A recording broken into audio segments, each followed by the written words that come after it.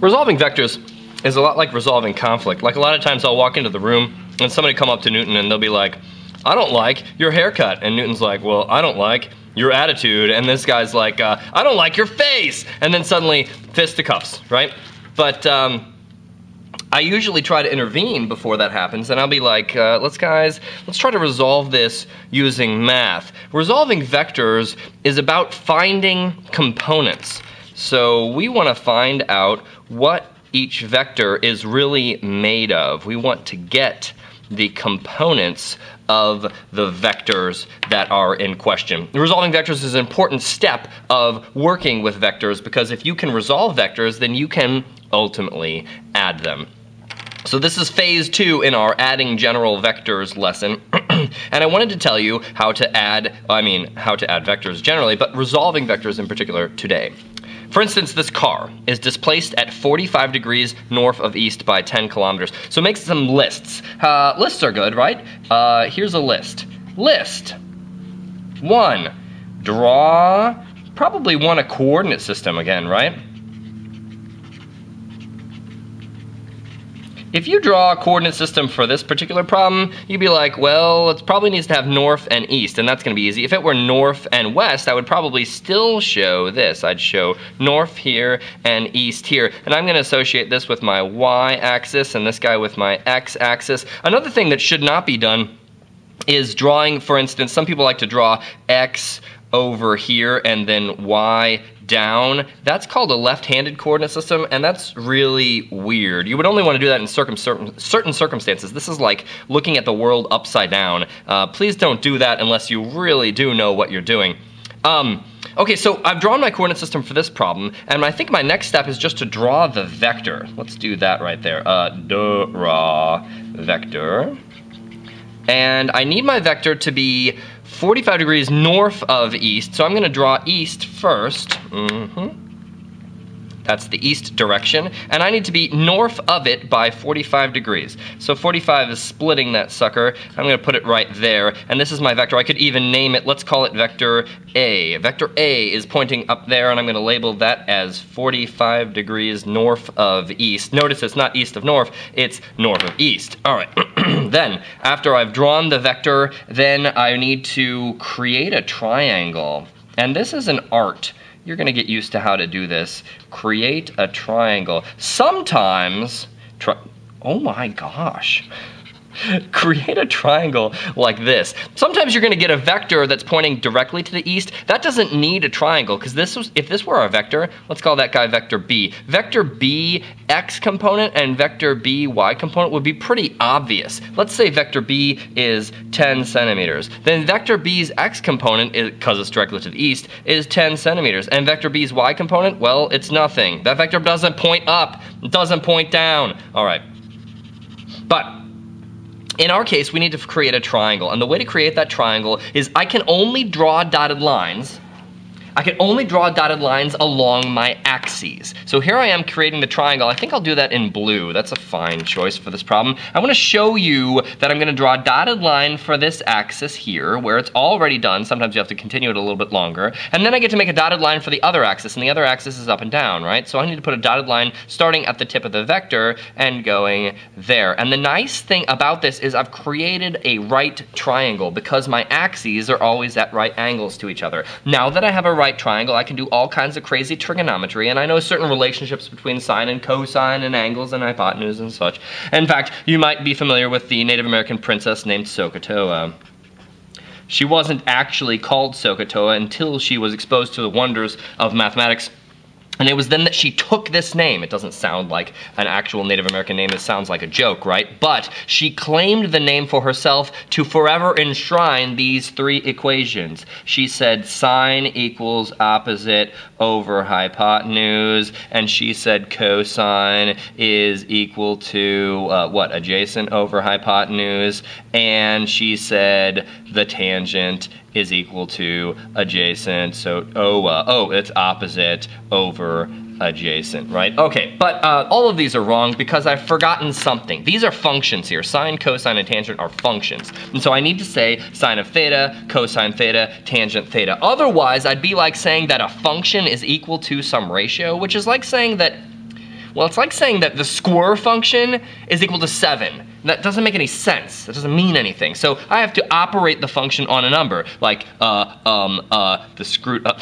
okay, sorry, 2 square is equal to 4. It's not the square function that's equal to 4, it's 2 when it is square that's equal to 4. All right. So I've got these three equations, and they're gonna help me find out these sides right here. It won't always be the case that I'll have it drawn in this orientation, so I'm not gonna be able to say x equals or y equals, but I'm gonna do this specifically for each problem. I need to find this side right here, and in this case, the side is adjacent to this angle right here, and in this case, the side is opposite to that same angle there, that theta that was given. That's 45 in this case right here. So I'm supposed to, what? Solve this equation? It's just a regular equation you might think of it as somewhat sacred because it's got that form and it's in SOHCAHTOA and awesome, etc. But you can do algebra on this. You could solve this equation for the opposite side's length. This variable right here is just a variable, and we're just trying to find it right here. So when I do it, I'll multiply both sides by hypotenuse. And it will say opposite equals the hypotenuse's length times the sine of theta. Mm-hmm. What if I take this equation right here and I solve it for the adjacent side's length right there? I could take uh, hypotenuse, multiply hypotenuse on both sides, and I get adjacent equals the length of the hypotenuse times the cosine of theta. All right, good. So then I want to just plug that into my calculator, and this is really fun. Watch this. Calculator. On. Hypotenuse's length. Check it. 10.0 kilometers. 10 times the sine of, well, I'm gonna get this side first then, sine of 45. Enter, and now I'm in a little bit of a hurry, so I'm gonna click second entry and get that back up there, and I'm just gonna change the sine to a cosine, and boom, I've got them all. Oh, my calculator made a mistake. Something's wrong, it's not recognizing that I changed it. So I've got like, uh, what, 7 point, what do we have, 3 sig figs? 7.07 kilometers, and um, this is supposed to also be 7.07 kilometers. Oh, it's because it's a 45, 45, 90 triangle. Okay, okay, okay.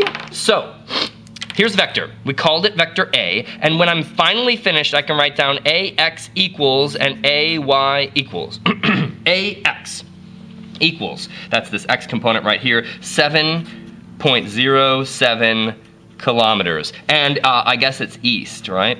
Yeah, good. And AY equals 7.07 kilometers, which way? Uh, north. All right, good. All right, good, good, good, good, good. Let's go on to the next problem. We're gonna do this next one a little bit faster because we're getting pretty good at this.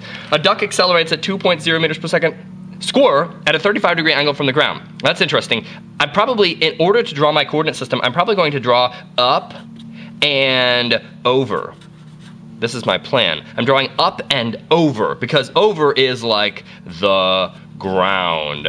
And they're not telling me whether the duck accelerates up or down, so I'm going to choose up because I'm an optimist, I guess?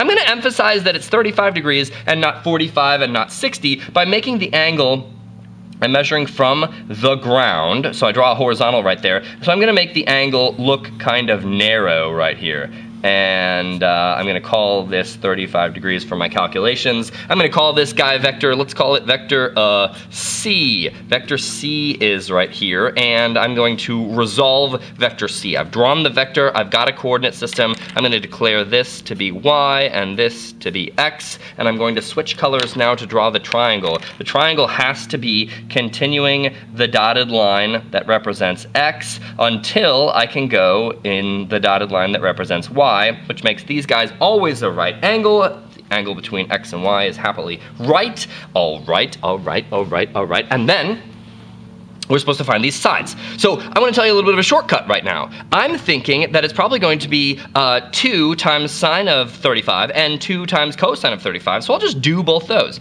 2 sine 35, enter, and get back again.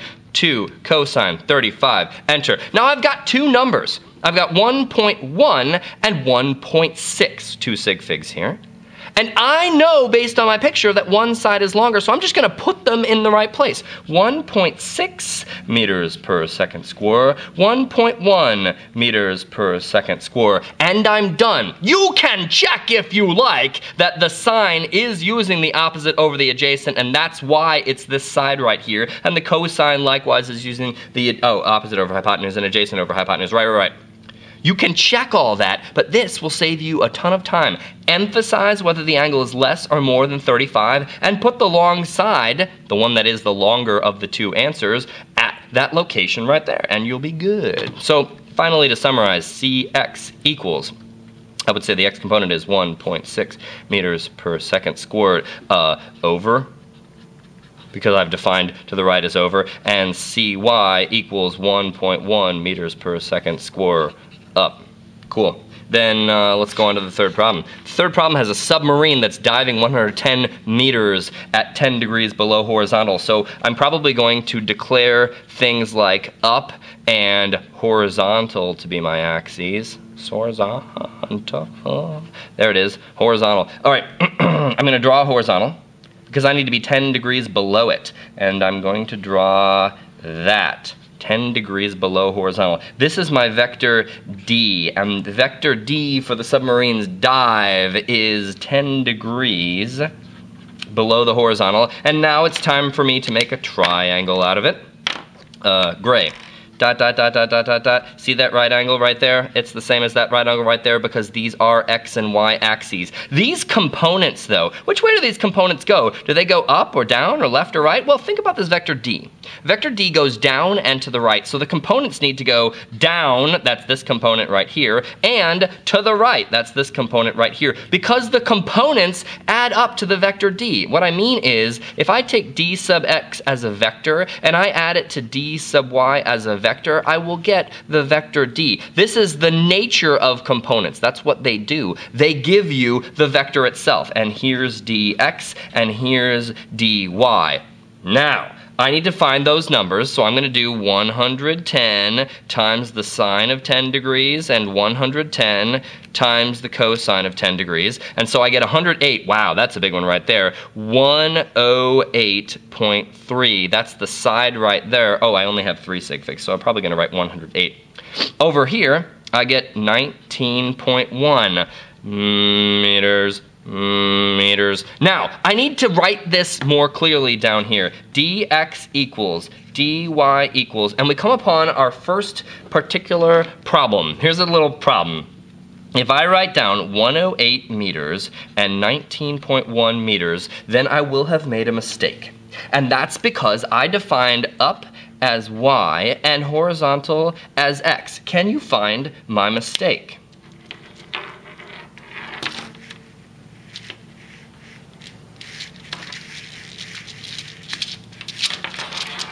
Did you find it yet? Do you like intermission? I don't know. I had a pretty good time with it. Here, oh gosh, let's not use that color. Here, um, the mistake is this component points down, so it's negative, and I have to add that in by hand. Because I use this angle as 10 degrees, I'm not using like the angle this direction. I'm not gonna do anything complicated like that. I'm just gonna keep these as lengths of the sides, but then when I go down to here, I notice that this is a negative number because it's pointing downward. See? Cool. If you make that mistake, then everything's gonna be thrown off in the future. So please be careful. Do not make that mistake. Here's a pregnant woman. She walks 25 degrees south of east for 3.10 kilometers. I define north as y, and I define east as x. And I draw the vector of the woman, let's see, south of east. So I gotta start out by drawing east, and then she's supposed to be just a little bit south of east. Wow, this is almost exactly the same problem. Let's make her go south of west. That'll be more fun. South of west. All right, so she goes like that, and this is a small angle. It's only 25 degrees, and this vector here, vector E, is how long? 3.10 kilometers. I need to make a triangle. Triangle like this, triangle like dot dot dot dot dot dot dot dot dot dot dot dot dot dot dot right angle right here. All right, good. And then I'm supposed to find these components. This is e sub x, this is e sub y. Notice e sub x is going to be a negative number. e sub y is going to be a negative number. And let's find both of them. Boom, boom, boom. Ready?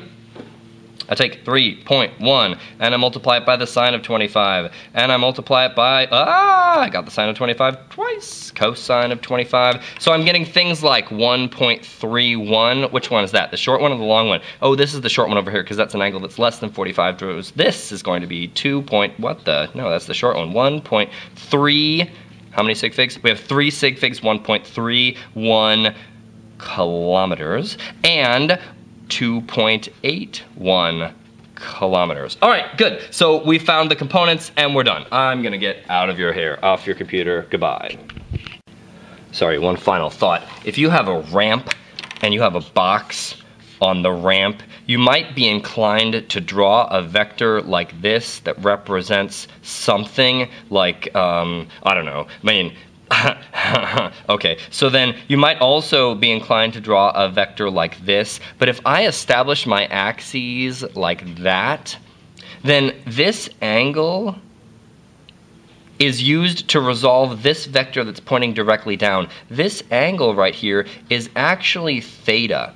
And I need to draw in two colors for you the two options that you have when you resolve this vector. Do you resolve this downward vector like this, as I'm about to do in orange? Here, I'll draw them both over here. Do you draw this vector here resolved like option one, where I draw a dotted line here, and a dotted line here, or do you resolve this vector like 2, where I draw the vector just as it was, like over here. I just need to figure out how to draw this one over here, and I draw a dotted line this direction, and then I draw a dotted line this direction. Which of these has properly resolved the downward vector based on the way that I've taught you to resolve vectors?